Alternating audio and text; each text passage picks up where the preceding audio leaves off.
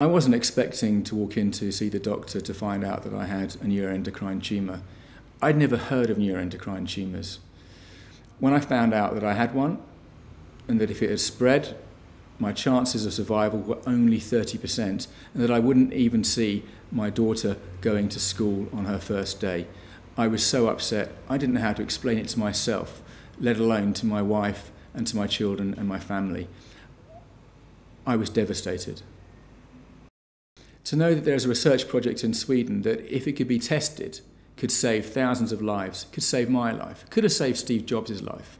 It's so frustrating because all we need to make it happen is £2 million.